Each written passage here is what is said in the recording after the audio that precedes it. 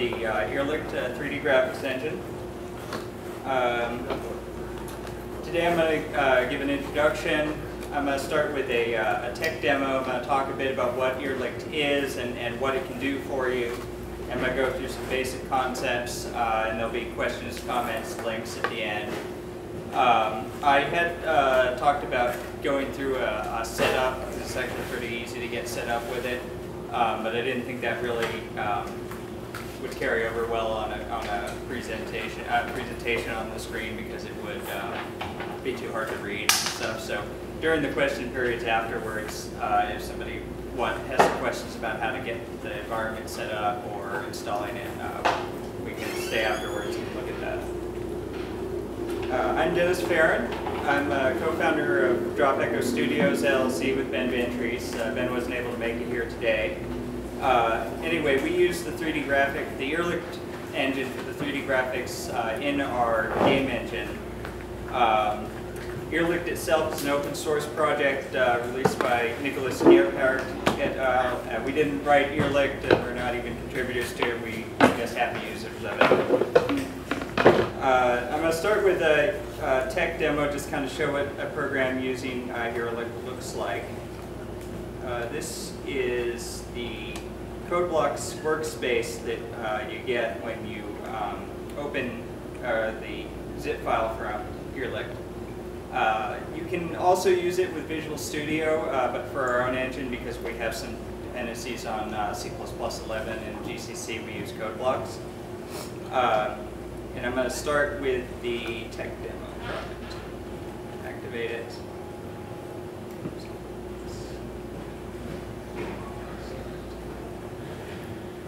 And uh, every Irrlicht uh, demo starts with some way to select what driver.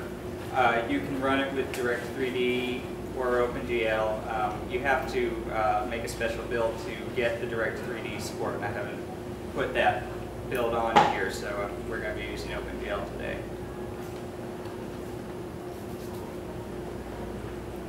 This is uh, just a, a, basic level that the Irrlicht engine is loading. Uh, what we're watching right now is a, uh, I think it's a, some kind of, I forget what the name of it, but it's basically a, a camera uh, path node that you can add and, and, have the camera follow a path through the, uh, through the level. Uh, as you can see, it has texture, lighting, 3D. And here in a sec, after the animation gets done, it should drop us off down inside this, uh, where, where there's some uh, animations loading. Okay, yeah, here, here's uh, also showing uh, various texture effects. The uh, lady running here is an animation uh, that the, that's been loaded in, inside the level. You have various particle effects and things like that. And so yeah, that's what a basic, basically what an Irrlicht uh, engine game looks like. Uh, there's ways to make it look better or even have it come up looking worse, um, but this is sort of the baseline of what it looks like.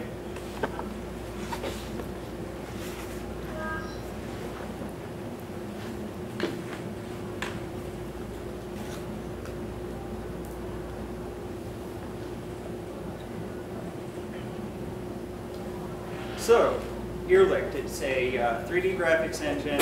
It basically is like a wrapper for OpenGL or DirectX. Uh, it's written in C++. There's also a C-sharp wrapper from like 2011, I think, but I, only use it in C-sharp. I mean, I, have only used it in C++. Uh, it's cross-platform. It works in the Mac, uh, Linux, and on Windows. And it's a uh, liberally licensed open source uh, project under zlib, so you can use it. You don't have to GPL your whole game or whatever. Uh, it, here, there's some screenshots here of some games that it's used in. Uh, there's um, Tuxkart is a um, probably the most well-known one. And uh, then I, I, put that screenshot on there. These two screenshots came from the Irrlicht website. I put that second screenshot on there to show an instance of making a much different looking game. I don't know for sure, but I'm guessing that they achieved the different look in there, mainly using textures. And then just right here, this is, uh, it looks kind of strange because it's just a test level where I was putting, trying to put as many control points on the terrain as I could, but that's some smooth meshes generated uh, by the engine that uh, Ben and I have been working on.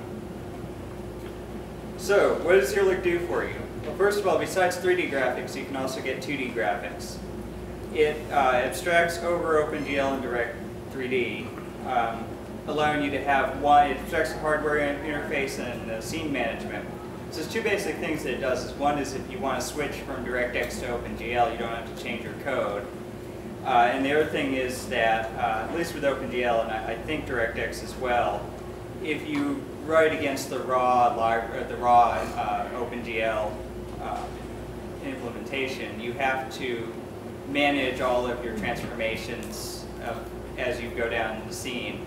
And this, the, this will handle the scene management for you, and, and, and I'll talk about that. Uh, it has some basic game engine functions. Uh, I've, in the game engine that I'm working on, I've ended up not using very many of these simply because I have extra attributes of things that I want to save and load. Um, but it, it, can, the, the, basic game engine uh, functions can be used. You load textures, meshes, and levels, which I do use the textures and meshes. It'll do some collision detection. Uh, it's, it's, pretty basic collision detection, but it is handy if you have a, um, a mesh and you need to find out uh, what triangle is, is uh, hitting another triangle. And then it will also handle input devices for you. So talking about abstracting over OpenGL or Direct3D, this is uh, the screen again from the tech demo.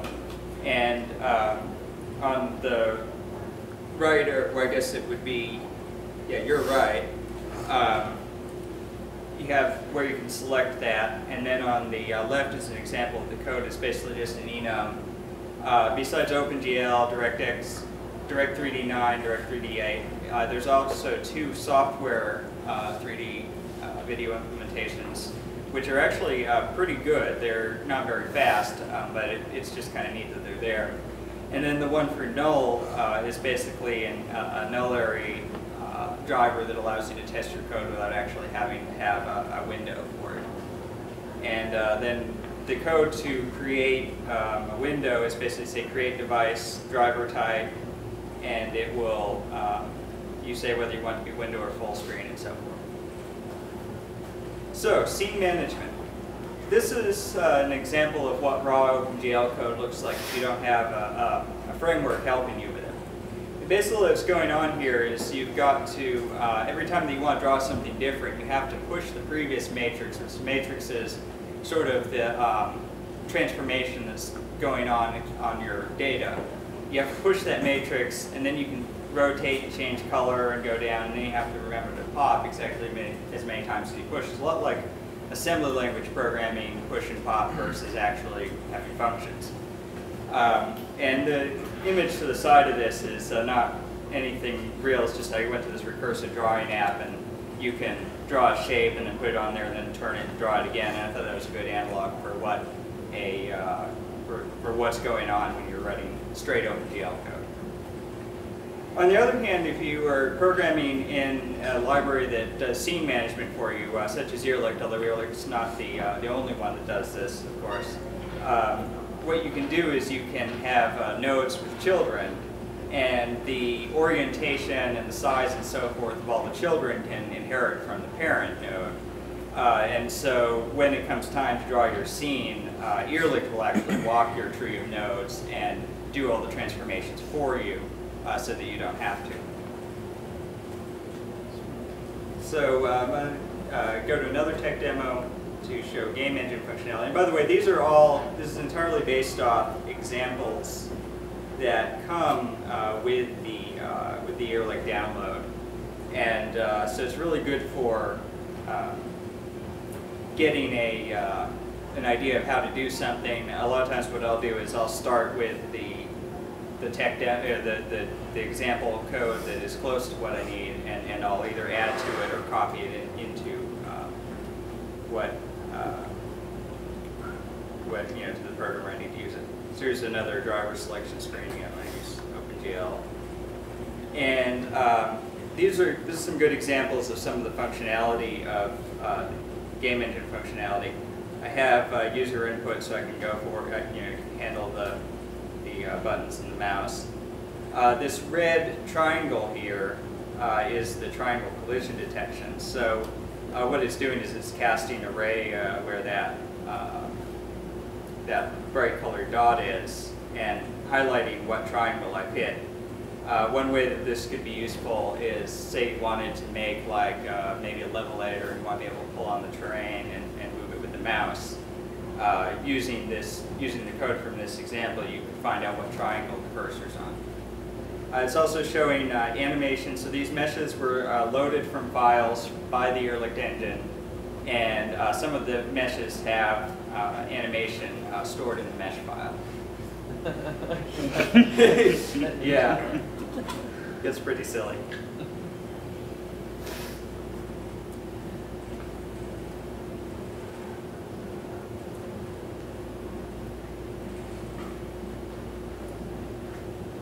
Okay, and then also uh, it will do user interface for you. So, here.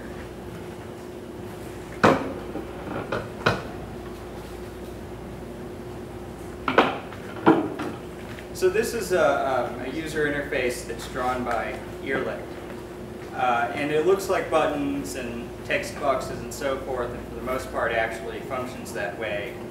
Uh, but they're actually all managed and drawn by Irrlicht, so it's getting the mouse input and drawing everything.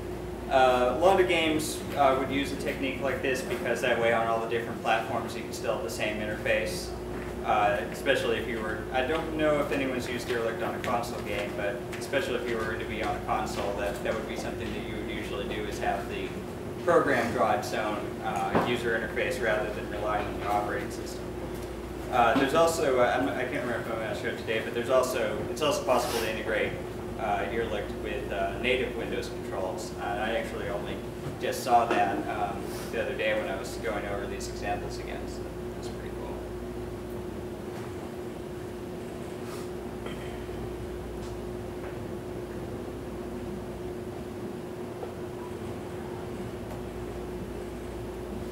So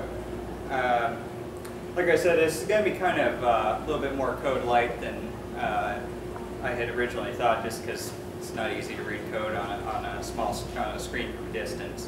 Uh, but I wanted to show a little bit of code to show uh, one of the reasons why uh, Ben and I uh, have been using Irrlicht is it's really easy to use.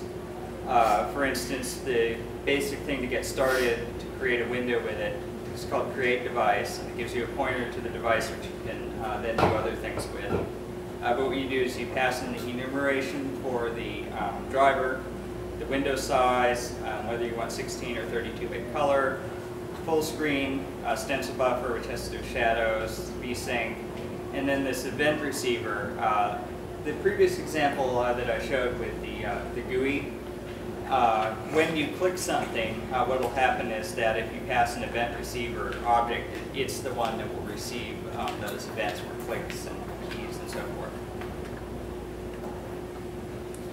Once you've uh, once you've created your device, the next uh, thing is you just create your manager objects. Uh, the two main there's more than this, but the two main manager objects are the, um, the iVideo driver manager and the scene manager. And almost all of the API can be accessed um, through this. There's also a, a, GUI manager that you use to access buttons. Um, but I, I won't go into that uh, further. So for the video driver, uh, one of the main things the video driver does is drawing 2D images and drawing lines on the screen. So basically anything that doesn't involve keeping track of a scene node of which there's um, the uh, scene nodes basically have to do with the hierarchical thing. Anything that's not hierarchical, something that you draw yourself, um, usually will be through the video driver thing. Uh, you also use it to load textures, um, and then finally it's used to call begin end scene. And that uh, the main purpose of that, I, I believe, is to uh, tell the engine that it's okay to swap pages. Because if you were to draw on the buffer between page swaps, it might not work uh, correctly. Anyway, and then at the bottom here, there, here's some uh, code. This is an example of how to draw a 2D image with the uh, driver. And uh, what we're doing is we're passing it a, a list of an array of images actually, uh, position, their size, and um, the color. I can't remember whether the color parameter is for the transparent color or whether that's uh, like a lighting or overlay color. Anyway, so here's um, a 2D example. And uh, lot of people like 2D graphics. Actually, I, I want to stop in for a sec, um, talk about this. So a lot of um, the difference between doing a 2D game and doing a 3D game, it is a lot more work to do a 3D game. It uh, you have to you have textures, which are basically images, you have meshes, and so forth.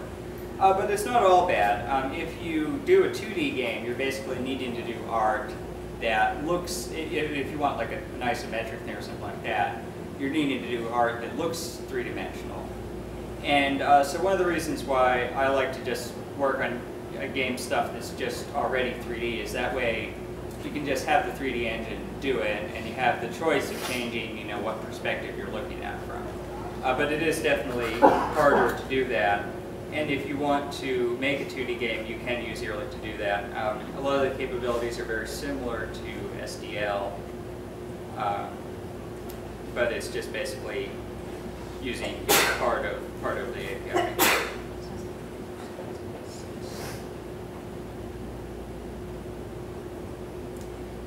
Should have wore shorts and a t-shirt.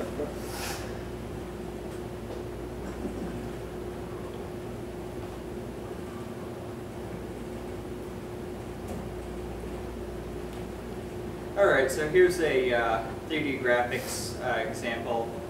I'm not really sure what's up with this highlighted square here in the example. I guess it's just showing alpha blending.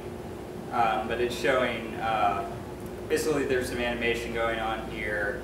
Uh, this whole background right here with the, um, the, the, blocks and the floor uh, was actually drawn with uh, one call um, to, the, uh, to the engine. I, I think that's um, purpose of passing in I haven't done a whole lot with 2D graphics, I think that's the purpose of passing the array to it. And then I'm pretty sure the Irrlicht logo up here also is drawn with uh, 2D graphics.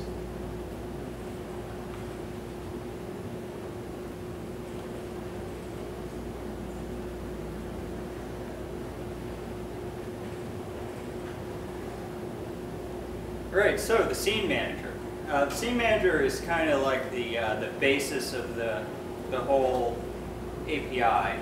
Um, a lot of times when uh, somebody's learning uh, programming or learning API, they want to know like what's the core, what's the actual stuff that you know makes things work. And in a lot of APIs, the answer is well, there's not one core. It's just kind of you know everything.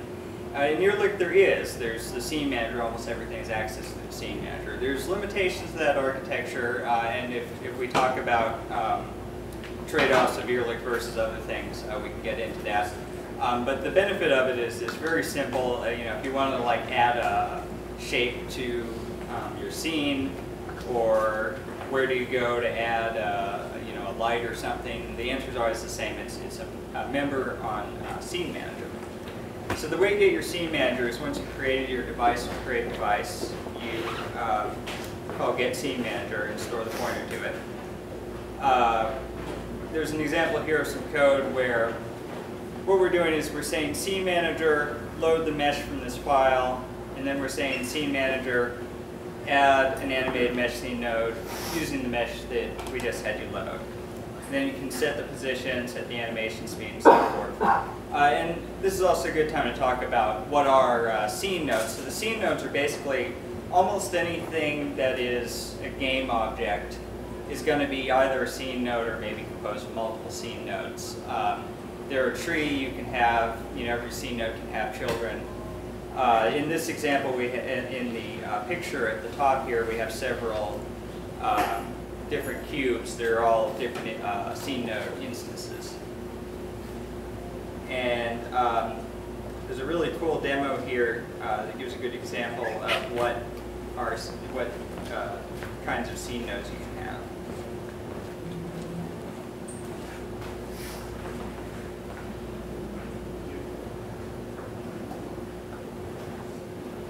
Okay, so this is showing um, both lighting uh, and uh, mesh scene nodes as well as I think there could be some shape scene nodes here with hexagons, but I'm not quite sure if that's if that is or not. But anyway, so even the lighting uh, is actually a scene node, and the reason, reason uh, a light is a scene node um, is that you might want to move the light, you might want to uh, you know, position it a certain way, or even attach an animator to it. Uh, scene nodes have a property that, oh sorry, question? Uh, are all lights in the engine dynamic like that, or are there static lights as well? Uh, I think there are static lights. Uh, this example is specifically showing off a dynamic light, so I think most of the time it, uh, there's static, but um, I'd have to I'd have to look that up more closely. I'm pretty sure though that you can have uh, both kinds.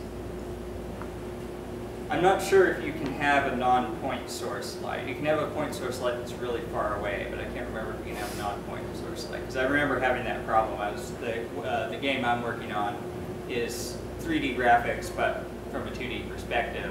And I wanted fairly even lighting, and what I ended up having to do was put a point source really far away and give it a really huge radius. You couldn't get a direction light to work? Uh, they, I can't remember if it's because they're not in there, or more likely they're in there and I just wasn't using it right. I think I think there are direct lights in there. Okay. Anyway, so, um, and then we have some uh, particle uh, effect nodes here. And I think that if, if I remember correctly, and I was just looking at the code, I, I haven't done too much with shadows, but I think in this example they actually attached the shadow um, to the dwarf as a scene node attached to the dwarf. Um, so sometimes shadows can be scene nodes as well.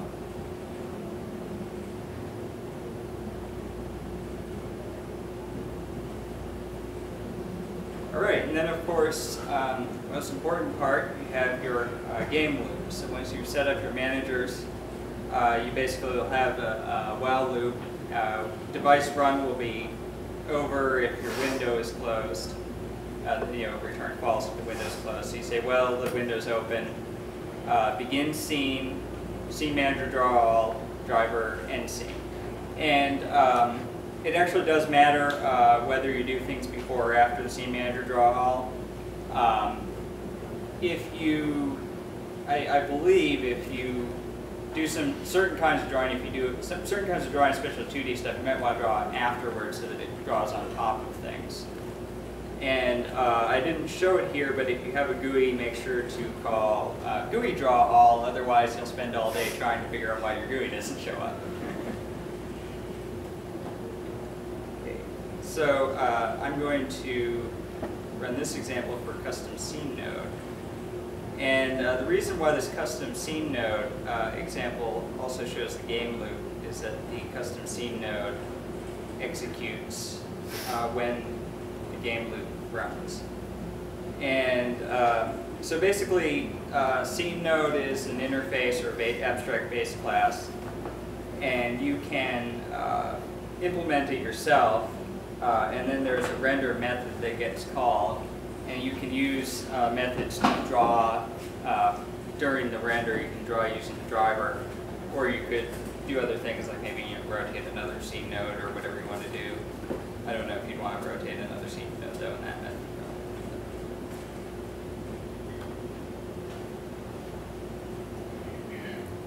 So uh, in this example, um, what's going on is, is this uh, tetrahedron here is uh, being drawn dynamically by the custom scene node. And every rotation of it, or you know, every, every frame that's being drawn from it is basically an iteration of our game loop because the render method on this is being called during the scene manager draw all, and the scene manager draw all is in our game loop.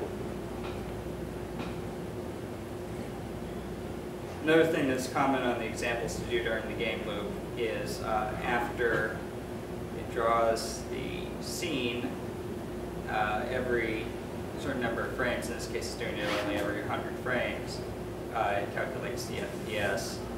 And uh, again, the FPS is very simple. It's just a, a, method call on the driver. You say get FPS.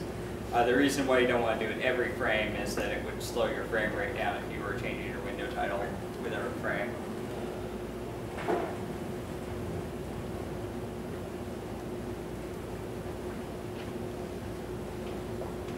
Okay, that's the end of the, uh, the slides. Uh, we just kind of covered uh, what Irrlicht is, uh, did some feature demo, and, and, just a few basic concepts. Uh, if people are interested in um, sort of how you get the environment set up for uh, using Irrlicht with code blocks, um, we can go over that afterwards during questions. Do we have any questions? Yeah. I was gonna ask if you use, was it irrEdit?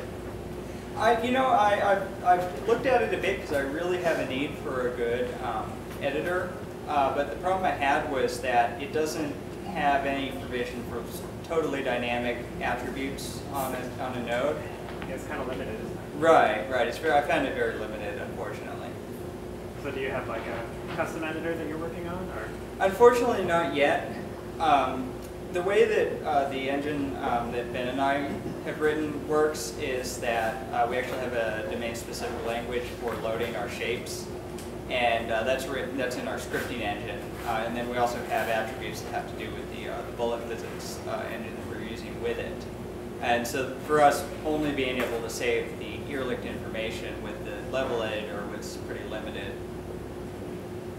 You said you have a scripting engine? What kind of script do you use? Uh, so that, the, the, that's actually the, the main work um, that, that I've done on the engine and, and sort of like the original piece of it is I integrated uh, the IO scripting language uh, with it, which I didn't write IO either, but I, I put it together with Irrlicht and Bullet. Uh, and basically the way it works is I, I made this, uh, since IO is dynamically typed, um, you can easily make domain-specific languages in it or write kind of code that is also data, you know, kind of like the Lisp sort of thing. So it's kind of like imagine if you had something like JSON, but for specifying 3D objects. Uh, the way it works is like say you wanted to make like a, like a robot with a, a head, two arms, and two legs.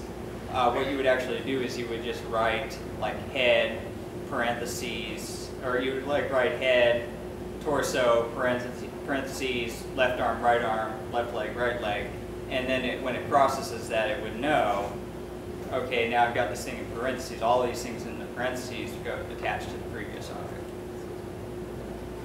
So most likely, uh, we'll end up doing some using that format also to save our information about levels, um, but it's not uh, fleshed out enough yet to, to do that with.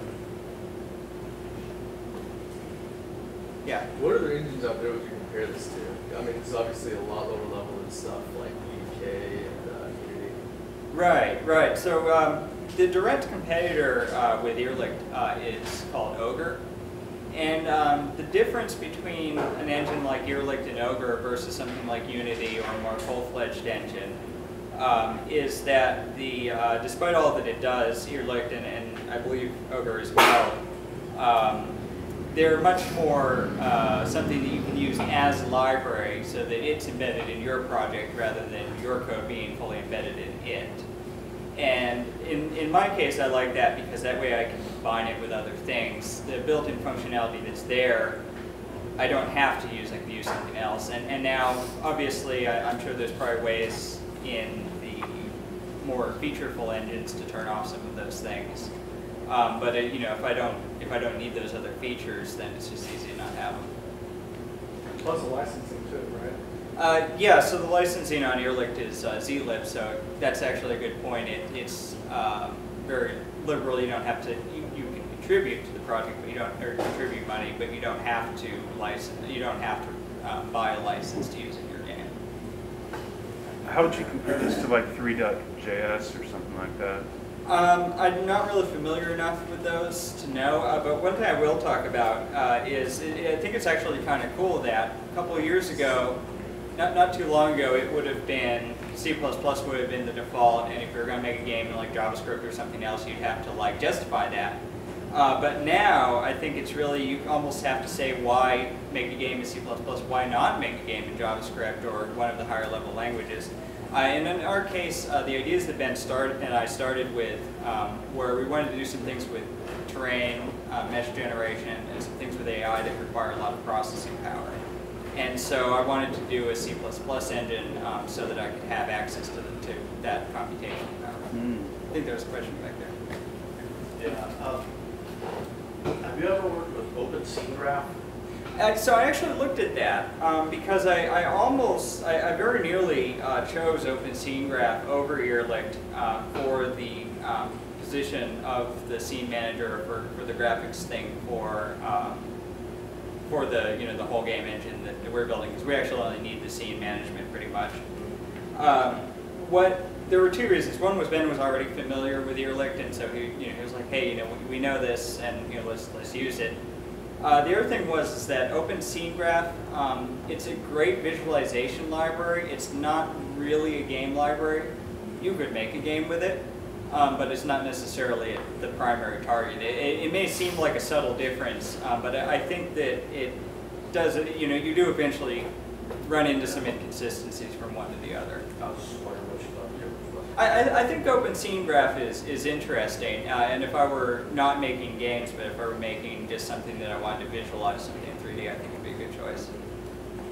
And then also, uh, while we're kind of circle back on Ogre versus Irrlicht, um, the reason why we went with Irrlicht over Ogre, even though Ogre actually has better integration with uh, bullet physics and um, is maybe a little bit more featureful, is that uh, being easy to use, uh, Ben said that he, every time that he had tried to get Ogre to work, uh, just, you know, if he wasn't working directly off an example, if he tried to make it work from scratch, he was unsuccessful every time he tried to do that. And I'm not saying that Ogre is bad, but you know, it's just that was, you know, the, that was the, how we evaluated it. So, Yeah. Um, so most of the examples here are pretty low poly and uh, simple textures. Does, does do pretty well with, you know, what are what are pretty normal poly counts? Um, Uh, this, it's really hard to say. Um, performance and how good uh, something looks are so, I mean, there's, there's so many variables on that. yeah. Part of the reason why this stuff is low poly count is I think a lot of the examples, the meshes, uh, come from free assets. Right. Uh, Plus, most of these examples are like 10 years old. Yeah. so- Right, well, also- they were great at the time. Yeah, but most of these examples also run at like nine, several of the examples run at like 900 frames per second, so. Right. It These- so depends on the these, these run at 900 frames per second. So probably Not all, I mean, like this, in the, for instance, the screenshot in the example ran at 222 frames per second, and this is on a fairly old laptop. Okay.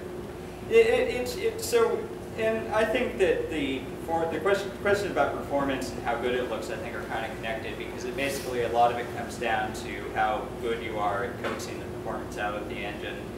Um, I have noticed some slowdowns on really huge poly count things, um, but another thing to keep in mind is that if you have a really large poly count world, um, you really need to have some uh, level of detail management uh, at that point. Even if you had a great engine, if you had no level of detail management, basically in terms of like dropping off, either either using lower resolution for other way things or dropping things off, you um, would pretty quickly run into other limitations in terms of it just being unmanageable.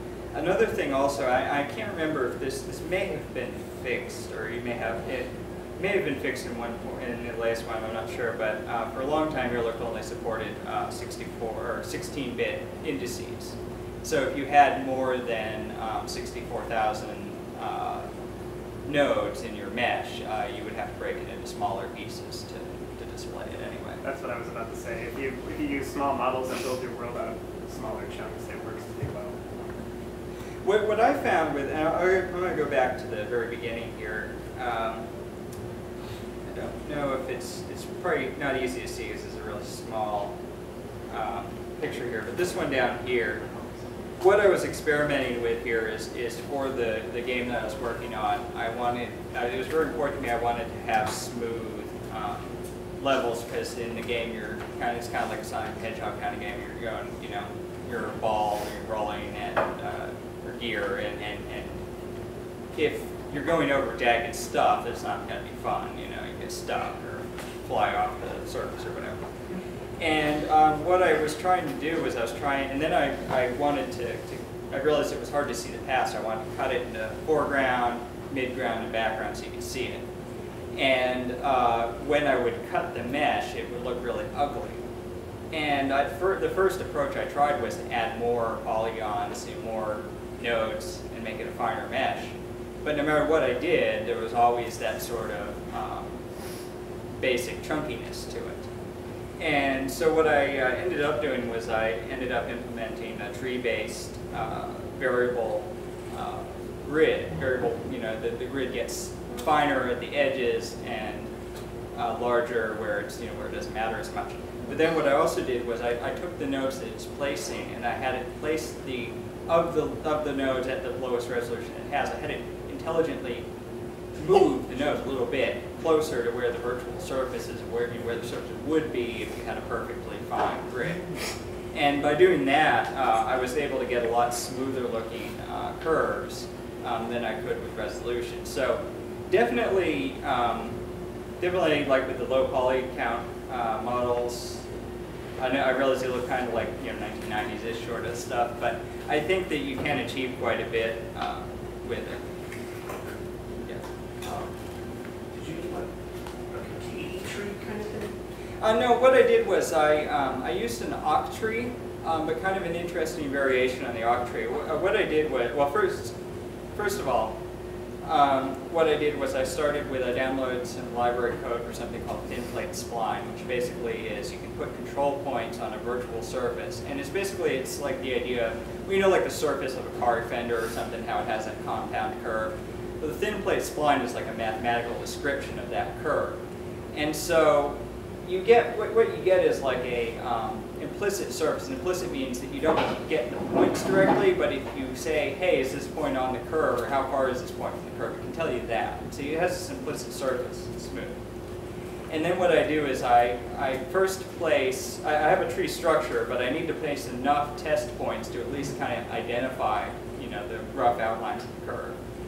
And then what I did is closer to places that matter, and, and by places that matter in this example, it was either stuff that was close to the path, or a place that was close to the cutoff in the back where it cuts off so you can see sky.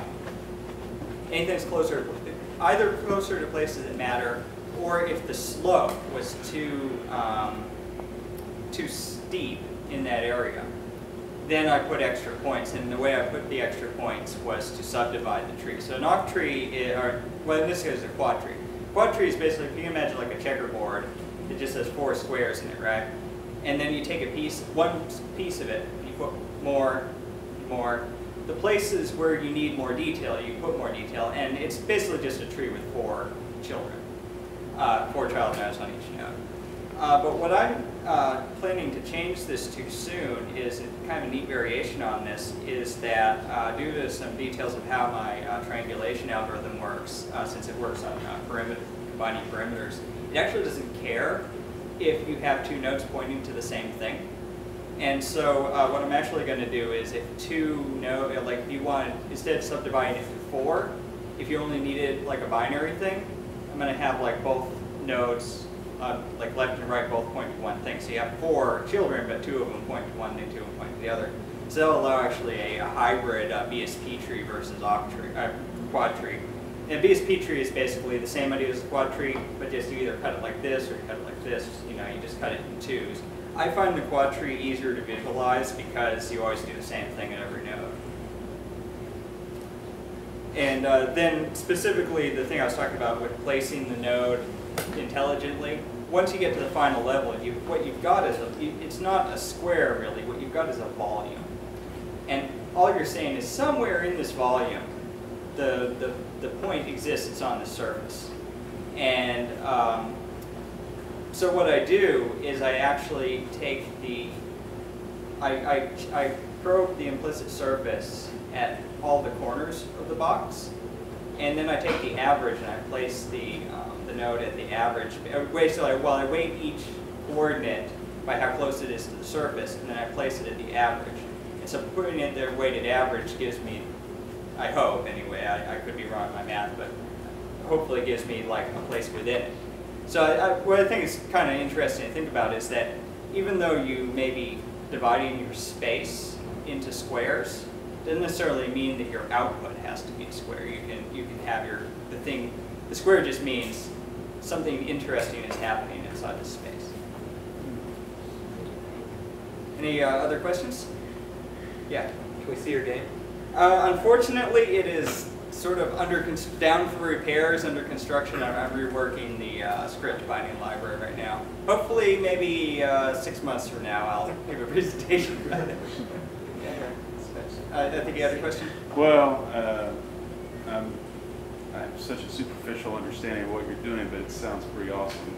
Thanks. So your, your algorithm, I mean, um, you're placing priority based on, um, you know, the structures or uh, the implicit uh, surface. Right, right. And so you're also providing higher resolution based on that, but you're also choosing other things as well, right? Right.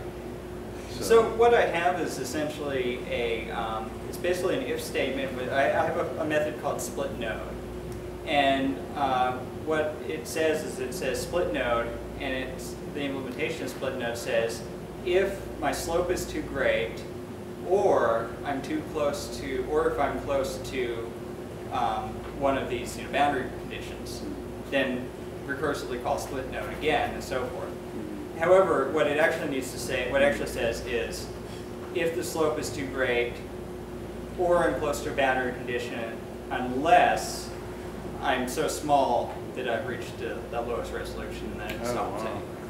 But it's actually, that, that part of it, it's actually pretty simple. It's just basically saying, do this, you know, split the node or don't split the node. Okay. And then you, you can do various, you know, things with what are your term, you know, what, what are your criteria for whether to split the node or not. Is Yes. that like every frame or? Uh, no, that's for the, uh, the mesh generation, uh, one time. And, uh, then what it does after that is it, uh, so it actually ends up generating this giant tree of nodes that are like points floating in space and they have no connection to each other. And then I have, if I remember right, I think I have like a method that I can say, given this rectangle of space that I'm interested in, return me a mesh that just covers just this rectangle of space. And then what I do is I do that for tiles. So you know how like Mario Brothers or various things have tiles. Well, I have tiles too, but they're just much bigger and they're sections of smooth background that are generated from these meshes. And so that way it can have each mesh separated into a manageable chunk. Yeah, I would- yeah, that makes sense. Uh, For a second there, I thought you were like, like on the fly, you had like That this, this mesh. That would get pretty Yeah, You that, know, and that would, something was happening, then you, you know, put more resolution on it, but you mean just the whole level. Right. That, that would be pretty awesome. Um, but yeah, uh, the, the, people have done similar on the fly stuff with voxel-based engines, and it's sort of been the you know the next big thing for, for about eight years now. But uh, anyway, uh, any other questions? Yeah. So you mentioned, I don't know if you said that this was cross-platform, I guess it says it right there. Um, What, what are the platforms? Uh, it is on uh, Windows, um, Linux, uh, most, just about any Linux uh, you can compile, you know, compile from source. It's on Mac. Um, I had some trouble with it on Mac. I ended up having to. Uh, hey.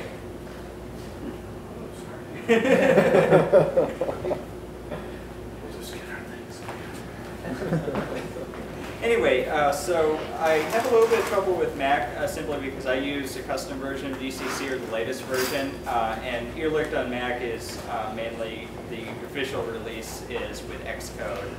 And uh, if you use Xcode, that you probably won't have any trouble. But since I wanted to use it with GCC and Code::Blocks, I had to uh, do some extra work. There may be some ports to BSDs or something, but I, I don't really keep up with that. I have a question. Earlier, when there was the enum for outputs, what was Burning's video? Okay, so um, the, the both of those were so, there's software video and Burnings video. The software video driver is very very basic. The Burnings video driver is actually pretty neat. It's somebody I don't even know who wrote this, but it's somebody wrote It's the only one I a software only, as in like rendering to an array of colors memory rather than video. Someone wrote a software only video driver. So That just is- like spit out a 4D matrix basically? No, no, no. Uh, here, let me. Um, It is not perfect, but it's decent enough that when I accidentally run it with Burning's video, I don't think, oh, you know, I'm in software, um, video mode, I think, gee, what's wrong with my OpenGL drivers? What's wrong with my video card? this is actually software. So what, what somebody has done is this is like emulating a video card, basically. What? This is all on the CPU, and this isn't a very powerful CPU either.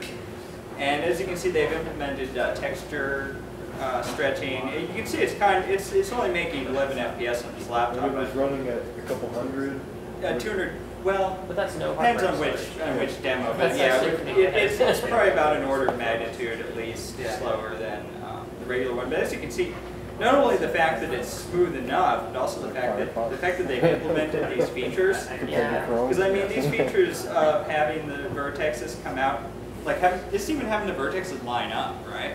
Like you don't see any um, like tearing or anything. That's actually pretty fantastic to be able to do that. I mean, you saw just a little bit right there, maybe like a little like line go, white line go across it. Yeah. Um, but that's that's tough to do with floating point numbers on the PC. I don't, I don't know what the video card does to make that come out better. Um, but but yeah, it's that's pretty cool. One thing that makes this useful is that if you are having if you are in fact having problems with your OpenGL driver or your DirectX driver, or like whenever I first compiled the, my own version of this on Mac, I tested it with the Burning's video because that way I could remove an extra variable and I didn't have to worry about whether it was working with the OpenGL library on the Mac. Yeah. So what other libraries are you using for your game development, like physics, sound? So for physics, uh, we use the um, Bullet uh, physics engine. Uh, really, uh, really great engine. Um, maybe sometime I'll talk about it. The uh, for our scripting language, we use this uh, language called IO. That's it's a dynamically typed. Uh, it's kind of like kind of like between Lisp and JavaScript. JavaScript. Uh, dynamically typed uh, embeddable language. So like the reason I chose that is that um, the interpreter for I/O uh, has very few external dependencies, so you can build it basically as a standalone thing and, and call. it. You can even have multiple instances I haven't used that feature yet. Uh, we we're going to we were going to use RakNet for um, network-based multiplayer, um, but we ended up dropping um, plans for the near term to do network-based multiplayer. So I, I took the RakNet library out. RakNet library is fine. I, I had made some attempt in college to write a um, network-based, you know, kind of multiplayer syncing stuff. The approach that RakNet took was completely different from the approach that I would have taken. It was probably, I mean, it's definitely more proven than anything I did. But anyway, so we, RakNet was nice, but we didn't end up using it, at least not right now. Uh, uh, also nice. It's a sound um, library. Uh, it's by the same person who wrote Irrlicht. Uh, basically, to make money, he gives away Irrlicht for free and then charges for irrKlang. So you do have to license that. Uh, there's a real dearth of good sound libraries on the PC, and irrKlang's one of the few really good ones. Uh, but I don't include it by default in uh, my game engine distribution. I've actually got that on GitHub, actually. I, I don't include Earclang by default simply because it's, it's not a free license. So have you considered using like SDL or OpenAL? Um, I, I had started out actually um, using SDL to, uh, before I was generating actual 3D meshes with some of my 3D code, I was using SDL to visualize them. Um, but SDL doesn't actually have 3D stuff built into it. You know, it's, it, you know, it's merely a 2D library. Um, there's a there's a really cool roguelike engine called uh, libtcod. Oh, yeah, Yeah. Yeah. And uh, that depends on SDL, and I've thought about implementing, uh, or I've thought about integrating libtcod, um, but I haven't gotten to that yet. The, the reason why that, and, and libtcod is a 2D uh, library, and actually like text mode game library, but it, I think it could be useful in any game because you could use it for uh, mini map generation and pathfinding, things like that. So, uh, anything else? All right. Uh, One more Uh, question. yeah. Uh, I was reading up on Irrlicht before I got here, and it said it has uh, different bindings or wrappers. Uh, How would you recommend anybody trying to program to the, to the wrappers instead of natively? if you're going to use C Sharp for your game, by all means use the C Sharp wrapper. I'm not sure how up to date the wrapper is because it's from 2011. Should be up to date for like 7.2 or 7.3, I think, but not, I don't know if anyone's updated for that. If you are using Irrlicht and you want to use Irrlicht and you don't have a problem with C++, I would go ahead and use C++. I wouldn't recommend C++ if you just want to make a game, um, because it, there's a, when you're writing um, native code, when you're writing uh, really complex code, um, it, it, and especially not having garbage collection, uh, it adds to development uh, effort. And so if you were just wanting to make just a simple, I mean, like for instance, um, uh, SpaceChem. You guys ever, anyone ever play SpaceChem, the indie game? It's made in C Sharp, great game. Uh, obviously, I haven't seen the source code for it, what their implementation looks like and stuff, but it, you know, it sounds like they had no problem with it. I I don't think they use Irrlicht, but I just wanted to give an example of you can, if you're making a game like that, or, or even a fairly complex game, you can use C Sharp. You know, you can use Java. Um, like I said, I, I, well, I was already familiar with C++. I, I got started out when you know, in order to make any game, you had to, uh, you know, you kind of had to use C++. But uh, nowadays, uh, I, yeah, nowadays I, I wouldn't actually recommend it unless you were actually wanting to make something that is going to do a lot of the computation. I would use, if I were writing from scratch, I would use a wrapper. Also, there may be ways to load native DLLs in C Sharp directly. It's a little more extra work, but I, I think you can do that too if the wrapper doesn't help for you. All right,